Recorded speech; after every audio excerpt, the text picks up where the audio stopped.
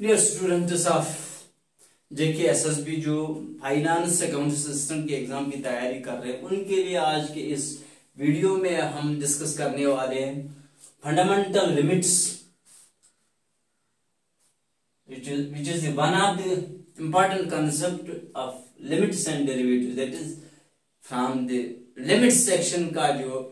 important concept that is fundamental limits उनका proof यहाँ पे हम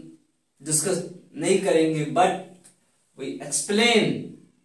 this one fundamental limits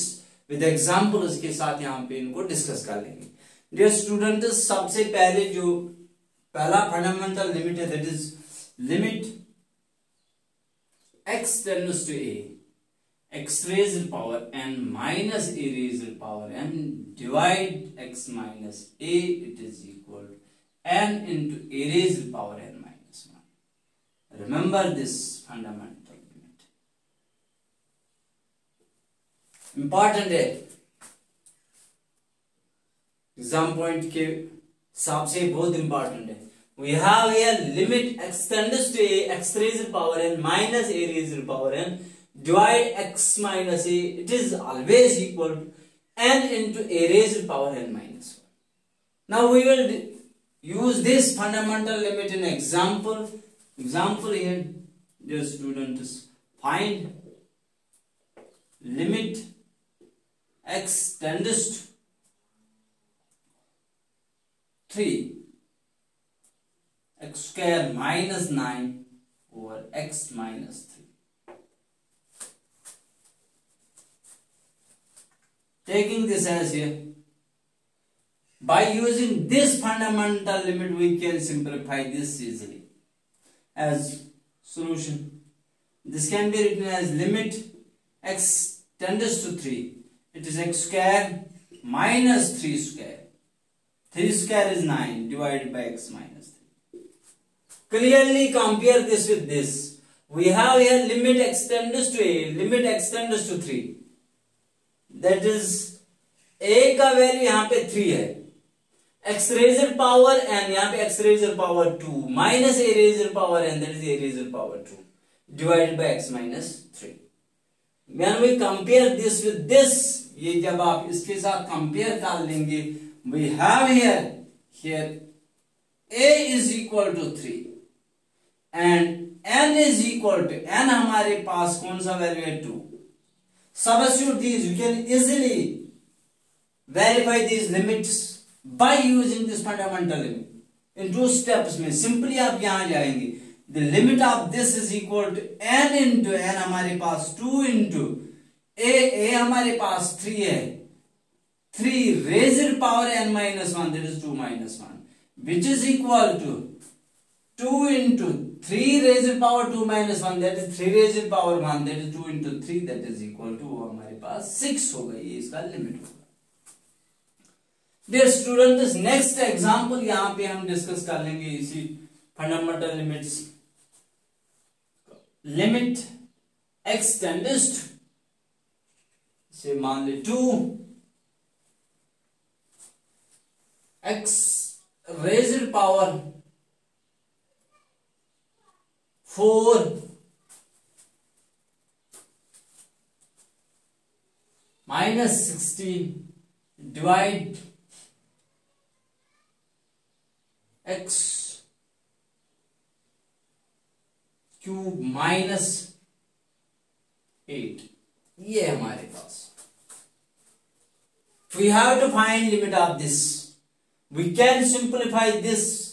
type of limit by using this fundamental limit लेकिन एक दो स्टेप्स आपको पहले इसमें डालने so that it takes the form of fundamental limit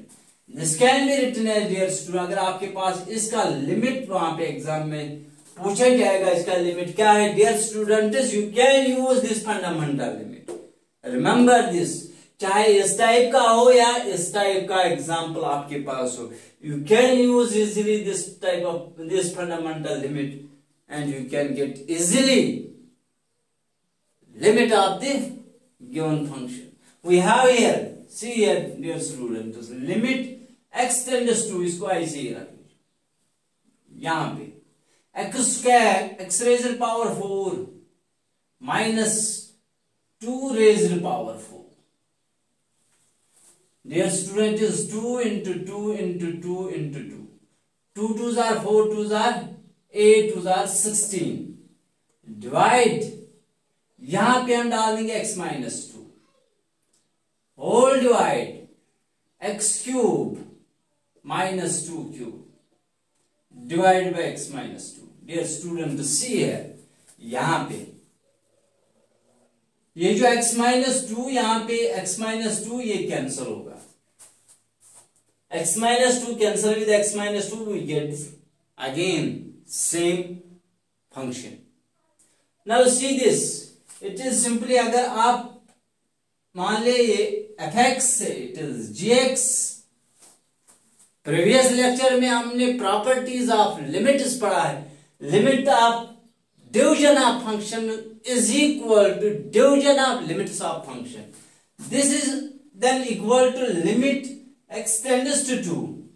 ऊपर x raise power four minus two raise power four divided by x minus two whole divide limit x tends to 2 x raised to power 3 minus 2 raised to power 3 divided by x minus 2 by property of a limit of a function which is discussed in previous lecture वहाँ पे आप इस property को देख सकते हैं this can be written in this form now see here ये जो न्यूमरेटर है इसको आप कंपेयर कीजिए दिस फंडामेंटल लिमिट एंड इसी तरह डिनोमिनेटर को भी कंपेयर कीजिए with this fundamental limit when we compare this numerator for numerator जैसे यहाँ पे मैं आपके लिए लिख लूँगा लेकिन ज़रूरी नहीं है। फॉर न्यूमरेटर हमारे पास है ए हमारे पास टू है and n is equal to dear student n is equal to four and इसी तरह डिनोमिनेटर जब हम कंपेयर कर लेंगे इसके साथ we get a is same as two but n is here three अब आप यूज़ कर सकते हैं फंडामेंटल लिमिट दिस जो डिनोमिनेटर न्यूमरेटर का लिमिट है it is simply it is equal to now dear student किसके बराबर होगा? इट इज़ एन एन हमारे पास न्यूमरेटर में फोर इंटू ए ए हमारे पास टू है. That is n minus one sorry for this n हमारे पास फोर है. A हमारे पास टू है dear student that is four minus one divide में डिनोमिनेटर में हमारे पास a टू है, n that is three into two raised power n minus one that is three minus one which is equal to, that is 4 into 2 raised power 3 divided by 3 into 2 raised power 2 it is now equal to that is 4 into 2 divided by 3 because this 2 raised power 3 can be written as 2 raised power 2 into 2 2 raised power 2 cancel होगा इसके साथ we get it is equal to 8 by 3 therefore limit of this particular function as x goes to 2, we have a limit as 8 by 3. Dear students, you can easily verify this type of limits by using this fundamental limit. Dear student ये बहुत important है इसका example आपके exam में पूछा जा सकता है डियर स्टूडेंट्स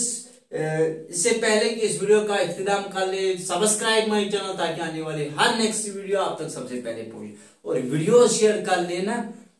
ताकि दूसरे जो आपके कुलीग्स हैं, वो भी इन वीडियो से इस्तेफादा हासिल कर सके। और इंशाल्लाह नेक्स्ट वीडियो में हम एक और fundamental limit with example discuss कर लेंगे यहाँ पे। Thank you have a nice day